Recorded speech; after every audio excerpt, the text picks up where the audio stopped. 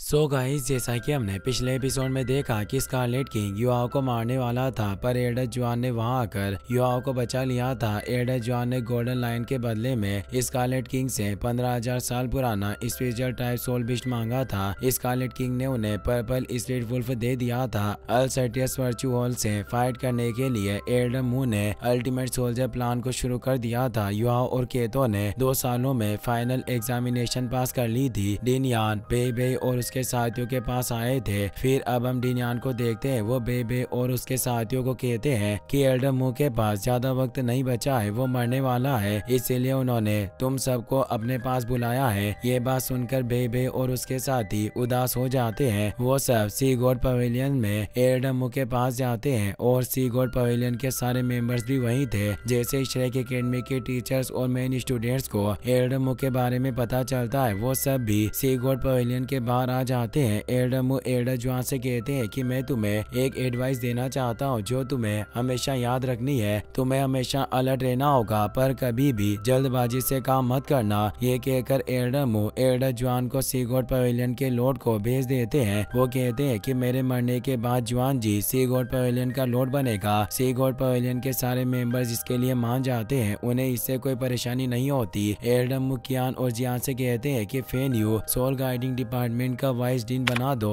Adam मुसंशी और Jiang से कहते हैं कि मैं चाहता हूँ कि युवाओं और उसके साथियों की तरह तुम दोनों भी टैंक सेट को ज्वाइन कर लो। बहुत वक्त पहले एंसेस्टर टैंक सेन से टेन सेक्ट को बनाया था, मगर वक्त के साथ जनरेशन टैंक सेट को संभाल नहीं पाई और टैंक सेट बर्बाद हो गया। उस वक्त श्रेक अकेडमी सेट को बर्बाद होने से नहीं बचा पाई। इस बात का मुझे आज भी अफसोस है। बे बे को मैंने ही टैंक या के पास भेजा था ताकि वो टैंक सेट को ज्वाइन कर सके। एल्डमू की हालत देखकर बे बे बहुत दुखी हो जाता है और रोने लगता है। दरअसल एल्डमू बे बे के ग्रेट ग्रेट ग्रैंड फादर थे, जिस वजह से उसे इतनी तकलीफ़ हो रही थी। संशी और जियांग टैंक सेक्ट ज्वाइन करने के लिए मान जाते हैं जिससे एल्डमू खुश होते हैं, वो बेबे से कहते हैं कि हम दोनों युशियाओ गांग के वंशज है। तुम्हारी martial soul, blue lighting tyrant dragon, अभी सेमी म्यूटेड स्टेट में है, इसीलिए मैं तुम्हारे लिए लाइट होली ड्रैगन की ब्लड लाइन स्टेबल कर दूँगा, जिससे तुम उसका भी यूज़ कर पाओगे। ये कहकर वो अपने पावर से बेबे के ब्रेन में एनर्जी ट्रांसफ़र करते हैं, जिससे बेबे का blue lightning tyrant dragon activate हो जाता है और पूरी तरह से म्यूटेड होकर बेबे की बॉडी में चला जाता है। अचानक एडमू की हालत बिगड़ जाती है और उसके मुँह से ब्लड आने लगता है वो युवा और वांगडोंग से कहते हैं कि तुम दोनों को अपना स्टूडेंट बनाना मेरी लाइफ में सबसे अच्छा डिसीज़न में से एक था तुम दोनों को टेंग सेट की ग्लोरी वापस लाने के लिए बेबे और टेंगया की मदद करनी होगी टेंगया शेख अकेडमी छोड़कर गायब हो गई है इसीलिए तुम्हें उसे भी ढूंढना होगा तुम दोनों पावरफुल बन गए हो तो अब तुम्हें श्याओ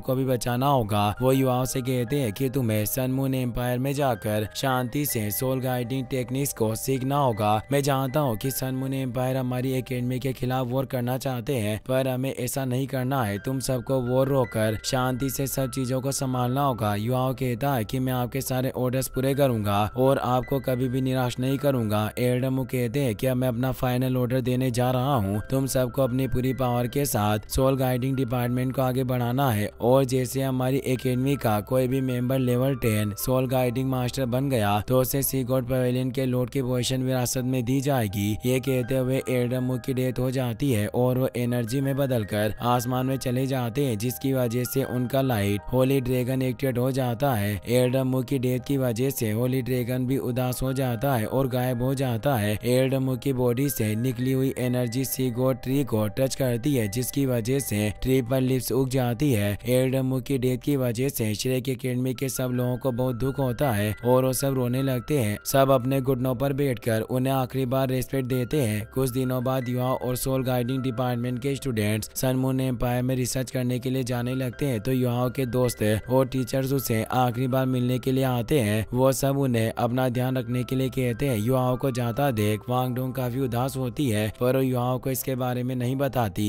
फिर हम स्टार्डू फॉरेस्ट की एक का सीन देखते हैं। टेन सेवेज बिस्ट के लीडर ब्लैक ड्रैगन दी को एयरडमू की डेथ के बारे में पता चल गया था। वो कहता है कि लाइट होली ड्रैगन मर चुका है तो अब ह्यूमन एरा खत्म होने वाला है। फिर हम डीनियान को देखते हैं। वो सोल गाइड डिपार्टमेंट के स्टूडेंट्स के साथ मेपल सिटी में आ जाते हैं। एयरडा जिंग भी अल्सटियस वर्चुअल के स्टूडेंट्स को लेकर वहाँ जाते हैं। एयरडा जिंग डीनियान से कहते हैं कि मास्टर मू की डेथ के बारे में सुनकर मुझे काफ़ी अफसोस हुआ और ये बहुत दुख की बात है कि हमारी पहली मुलाकात उनके फेयरवेल में बदल गई। पर मैं खुश हूँ कि जुआन जी को सी गॉड पवेलियन के लोड की पोजीशन मिल गई। इस बात से शेख एकेडमी के स्टूडेंट्स को काफ़ी गुस्सा आता है, पर डीनान उन्हें शांत कर देते हैं। वो एडा जिंग को ताना मारते हुए कहते हैं कि मुझे उम्मीद है कि शेख एकेडमी से आने से तुम्हें बहुत फ़ायदा हुआ होगा। इसीलिए अगली बार अपना ख्याल रखना। इससे एडा जिंग को भी काफ़ी गुस्सा आता है, पर वो कुछ नहीं कर सकते हैं। डीनियान एडा जिंग को शेख अकेडमी का फ्लैग दे देते हैं और उनसे सनमुन एम्पायर का फ्लैग ले लेते हैं। शेख अकेडमी के स्टूडेंट्स और सनमुन एम्पायर के स्टूडेंट्स एक दूसरे को रेस्पेक्ट देते हैं। जियो होंग चेंग युवाओं से कहता है कि पहले तुम मुझसे जीत गए थे, पर अगले कॉम्पिटिशन में मैं तुम्हें बहुत बुरी तरह से हराऊँगा। युवाओं कहता है कि तुम कोशिश करके देख सकते हो, पर हज़ारों सालों से तुम्हारी सनमुन एम्पायर ही लगातार हारता आ रहा है। इसे जियो होंगचेंग को काफ़ी गुस्सा आता है, पर उसे कुछ नहीं कहता। शेख एकेडमी के स्टूडेंट सनमुन एम्पायर के साथ चले जाते हैं, और सनमुन एकेडमी के स्टूडेंट्स शेख एकेडमी के साथ चले जाते हैं, एडा जिंग फेन्यू और उसके स्टूडेंट्स को लेकर। सनमुन एम्पायर की मिंगडू सिटी में आ जाते हैं, एडा जिंग कहते हैं कि इस वक्त हम सब सनमुन एम्पायर के सोल गाइडिंग रॉयल अकेडमी में है। वहाँ के सोल टूल्स को देखकर युवाओं और बाकी स्टूडेंट चौंक जाते हैं, पर के तो किसी गहरी सोच में डूब गया था, उसे देखकर युवाओं हैरान हो जाता है और उसे पूछता है कि आखिरकार तुम किस बारे में इतना सोच रहे हो? केतो कहता है कि मैंने तुम्हें कभी नहीं बताया, पर मेरा जन्म मेंगडू सिटी में हुआ था। ये बात सुनकर युवाओं हैरान हो जाता है। केतो से कहता है कि अभी हमारे पास ज़्यादा वक्त नहीं है, इसीलिए मैं तुम्हें बाद में आराम से सारी बातें बताऊँगा। वो सब रॉयल एकेडमी में चले जाते हैं। एडा जिंग कहते हैं कि तुम्हारी रिसर्च के लिए पहले से ही टीचर सिलेक्ट कर दिए गए हैं, इसीलिए मन लगाकर पढ़ाई करना। एडमा युवाओं और बाकी स्टूडेंट्स को फ्रेशमैन बेस दे देते हैं ताकि उसकी मदद से वो अपने रूम में जा सके और एकेडमी में घूम सके। युवाओं और बाकी स्टूडेंट्स अपने टीचर्स को रिपोर्ट करने के लिए चले जाते हैं। उस बेच में एक कंपास लगा हुआ था, जिसकी मदद से युवा अपने रूम में आ जाता है और अपनी ड्रेस चेंज कर लेता है। वो एडम को याद करते हुए सोचता है कि मैं आपको निराश नहीं करूँगा और जल्दी से अपनी पढ़ाई करके शेख अकेडमी में जाकर टैंक सेट की ग्लोरी को लौटाऊँगा। ये कहकर युवा अपने टीचर के पास चला जाता है। टीचर कहता है की, मेरा नाम जुआन जीवियन है। अभी तुम्हें दोबारा से सोल गाइडिंग टेस्ट देना होगा।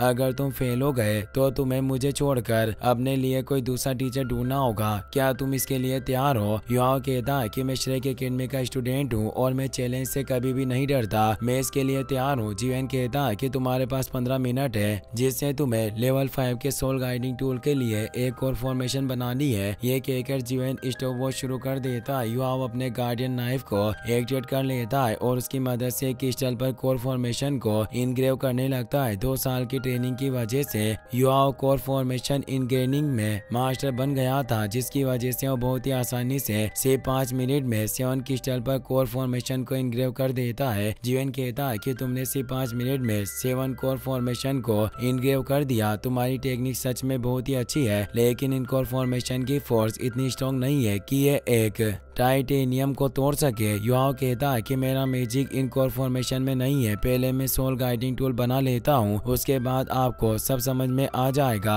ये कहकर युवाओं टैंक सेट के हिडन वेपन्स को याद करके सोल गाइडिंग टूल बनाने लगता है। कुछ वक्त में क्रॉसबो कैनन बना लेता है और उसके अंदर वो फोर फॉर्मेशन फिट कर देता है। युवाओं क्रॉसबो कैनन को एक्टिवेट करता है। जीवन अपने सोल टूल ग्लासेस की मदद से उसका मैकेनिज्म देखकर हैरान हो जाता है। वो सोचता है की ये तो ऑटो चार्जिंग फॉर्मेशन है युवाओं क्रॉसबो कैनन के एक ही अटैक को डिस्ट्रॉय कर देता है, जिससे वहाँ काफ़ी एनर्जी रिलीज़ होती है। ये देखकर जीवन खुश हो जाता है। वो क्रॉसबो कैनन को देखने लगता है और युवाओं से कहता है कि तुमने सोल गाइडिंग टूल को चार्ज करने के लिए चार्जिंग फॉर्मेशन का यूज़ किया ताकि नॉर्मल लोग भी इसे यूज़ कर सके। ये सच में बहुत ही अच्छा कॉन्सेप्ट है। पर तुमने ये सब कैसे किया? युवाओं पूछता है कि क्या मैंने टेस्ट को पास कर लिया है? जीवन कहता है कि तुम टेस्ट में पास हो गए हो और अगर तुम सोल गाइडिंग रॉयल एकेडमी को ज्वाइन कर लेते हो तो मैं तुम्हें अल्सटियस वर्चुअल में ले जाऊँगा, जहाँ तुम्हें कॉन्टिनेंट के सबसे powerful soul guiding soul masters के साथ कल्टिवेशन करने का मौका मिलेगा। युवाओ कहता है की आपने मुझे इसके लायक समझा, इसके लिए आपका शुक्रिया, पर मैं नहीं चाहता कि मेरे बनाए हुए सोल टूल्स मेरे लोगों के खिलाफ यूज़ हो। जीवन कहता है कि तुम सही कह रहे हो, पर पूरे कॉन्टिनेंट में सिर्फ़ अल्सटियस वर्चुअली ऐसा है, जिसमें तुम्हें सोल गाइडिंग टूल्स बनाने के लिए सारी चीज़ें मिल जाएगी। वहाँ तुम्हें बहुत सारे रिसोर्सेज मिलेंगे। यह पूछता है कि अगर मैं भी आपको यही बात कही और हमारा सेक्ट ज्वाइन करने के लिए कहूँ तो क्या आप मेरा सेक्ट ज्वाइन करेंगे? जीवन पूछता है क्या आखिरकार तुम्हारा कौन सा सेक्ट है? यह कहता है की मैं टेंक सेट का मेंबर हूँ और अभी जो मैंने सोल टूल बनाया है, वो भी टेंक सेट के हिडन वेपन को देकर बनाया है। इसे जुगे क्रॉसबो कैनन कहा जाता है? ये सुनकर जीवन हंसने लगता है। वो कहता है कि टैंक सेट की बात बहुत पुरानी हो गई है। उनके हिडन वेपन के साथ उनका सेक्ट भी बर्बाद हो गया, जबकि बहुत सारे लोग एक पावरफुल सोल गाइडिंग टूल को बनाकर उसका ओनर बनने की ख्वाहिश रखते हैं। बेहतर होगा कि पहले तुम अपनी पढ़ाई पूरी करो और उसके बाद हम इसके बारे में बात करें। ये कहकर जीवन वहाँ से चला जाता है। युवाओं कहता है कि एक दिन में आपका मन बदल कर रहूँगा और आपको मेरा साथ देने के लिए मजबूर बना दूँगा। इसी के साथ ये एपिसोड यहीं पर खत्म हो जाता है। गाइस अगर आपको वीडियो पसंद आया हो तो इस वीडियो को लाइक करने के साथ साथ चैनल को सब्सक्राइब ज़रूर कर लेना। मिलते हैं नेक्स्ट वीडियो में। Thanks for watching